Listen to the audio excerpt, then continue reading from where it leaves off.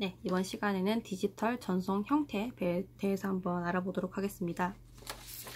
먼저 복습을 해야 될 개념이 두 가지가 있는데 하나는 데이터 전송 회선 파트에서 유무선 회선을 한번 배운 적이 있습니다. 그때 유선 회선에서 꼬임, 동축, 그리고 광 케이블을 배운 적이 있는데 지금부터 배울 방식들은 이런 동축 케이블을 이용하는 방식이라는 거 하나 유사점으로 봐주시고 두 번째 개념으로는 저희가 배워볼 두 가지 방식 중에 하나는 직전 시간에 배웠던 DSU 장비에서 저희가 유니폴라, 바이폴라라는 개념을 배웠었는데 이런 식으로 디지털 디지털 전송을 할 때 변조 과정 없이 극이 바뀌어가면서 전송이 일어나는 이런 형태에 대해서 좀 더 세부적으로 배우는 형태가 한 가지 있다라고 보시면 되겠습니다. 네, 디지털 전송 형태로 크게 배울 것은 baseband 전송과 broadband 전송 이렇게 두 가지입니다. baseband 전송은 DSU 신호 전환 방식으로 디지털 디지털 전송을 할 때 주파수 대역의 변조 없이 이진을 극을 바꿔가면서 전송하는 방식이다라고 보시면 되겠습니다. 회선당 1개의 채널, 그리고 고품질 전송, 10Mbps 이하의 속도, 양방향 통신, 직류를 사용하기 때문에 장거리 전송이 부적합한 특징이 있습니다. 소규모 단거리 데이터 전송에 적합한 예를 들면 이더넷 같은 통신에서 사용되는 방식이 baseband 전송입니다. 구체적으로 unipolar, bipolar 말고도 어떤 게 더 있냐면 단류 같은 경우에는 간단한 회로 단거리에 사용이 됩니다. 잡음이 많고 이제 0일 때는 0이고 1일 때는 플러스 voltage로 이렇게 연결이 되는 그림입니다. 0일 때는 0, 1일 때는 플러스 복류 양극 NRZ 같은 경우에는 저속 전송의 표준입니다. 잡음이 적고 0일 때는 마이너스, 1일 때는 플러스 voltage 연결이 됩니다. 레벨 같은 경우에는 가장 대표적인 방법입니다. 0일 때는 마이너스, 1일 때는 플러스에 매핑이 되고 마크 같은 경우에는 이제 변화, 천이라는 개념을 좀 아셔야 되는데 그냥 간단하게 극이 변한다고 보시면 됩니다. 0일 때는 변화가 없고 1일 때는 변화가 생기면 되는데 1일 때는 변화가 생긴 거고 0일 때 변화가 없습니다. 이제 1이 되게 되면 다시 변화가 생기고 0일 때는 변화가 없습니다.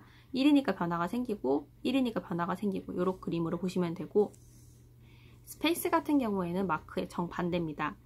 0일 때는 신호 변화가 생기고 1일 때는 변화가 없는 반, 대의 그림으로 1일 때는 그냥 갔다가 0일 때는 변화가 생기고 1일 때는 그냥 가고 0일 때 변화가 생기는 그림을 보시면 아 NRZ S구나 라고 보시면 되겠습니다.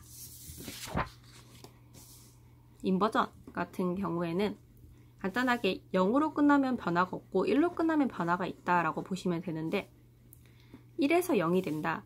1에서 0이 되면 0으로 끝나니까 변화가 없습니다. 0에서 1이 된다. 0에서 1이 되면 신호 변화가 있다 라고 보시면 됩니다. 이런 식으로 1로, 0으로 끝나는 애들은 변화가 없고 1로 끝나는 데는 천이가 일어나게끔 그려주시면 됩니다. 단류 같은, 단류 RZ 같은 경우에는 0일 때는 계속 0입니다. 네, 1일 때는 펄스를 반으로 쪼갭니다. 그래서 플러스 볼테이지에서 0으로 떨어지는 그림을 그리시면 됩니다. 복류 RZ 같은 경우에는 1일 때는 그대로예요. 플러스 0인데 0일 때 0에서 또 이것도 펄스를 쪼개서 마이너스에서 0으로 올라오는 그림으로 이렇게 그려주시면은 아 이게 복류 RZ구나 라고 보시면 됩니다. 바이폴라는 고속 디지털망에 사용되는 방식인데 동기화가 어렵다는 특징이 있습니다. 0일 땐 0인데 플러스 1일 때는 이제 각각 일씩 이제 플러스 볼테이지랑 마이너스 볼테이지가 교대로 발생을 하게 됩니다. 0일 때는 계속 0이고요. 1일 때는 플러스 마이너스 플러스 마이너스 이렇게 발생을 하게 됩니다. 맨체스터 같은 경우에는 IEEE 802.3의 CSMA, CSMA CD 랜의 전송 부호입니다. 0일 때는 펄스를 마이너스 플러스 1일 때는 플러스 마이너스로 이렇게 반대로 구성이 되는데 0일 때는 마이너스 플러스 1일 때는 플러스 마이너스 0일 1일 때는 플러스 마이너스 0일 때는 마이너스 플러스 이런 그림으로 그려지면 아 이게 맨체스터로구나 라고 보시면 됩니다. 각 그림들의 이렇게 별표 표시가 되어 있는 것들이 시험에 나올 수 있기 때문에 한번 봐주셔야 되는데 마크 그리고 bipolar 맨체스터를 한 번 더 유념적으로 봐주시면 좋겠습니다. 그리고 broadband 전송 같은 경우에는 디지털을 아날로그로 변조하는데 그때 말씀드렸듯이 진폭이나 주파수 위상 같은 걸 변조할 수 있겠죠. 이 방식이고 이제 특징을 한번 비교를 해보자면 broadband 같은 경우에는 회선당 2, 30개의 채널이고 베이스밴드는 회선당 1개의 채널입니다.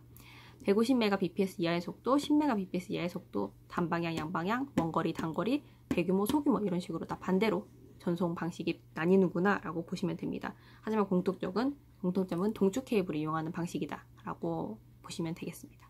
수고하셨습니다.